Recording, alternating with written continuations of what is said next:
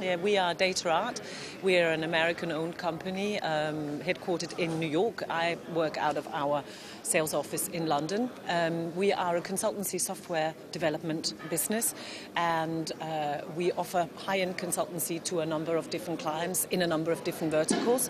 And then we initially bring the software development products and uh, projects to, to, to life for our clients. We work across, as I said, a number of different verticals, and one of the verticals is travel and hospitality. So within that particular vertical, which is the one that's relevant obviously for this show, we have clients like Triometric, Skyscanner, Hotel Tonight, Miki Travel. So really from OTAs, tour operators, meta search, it's kind of a very, very wide variety of clients that we actually cater for.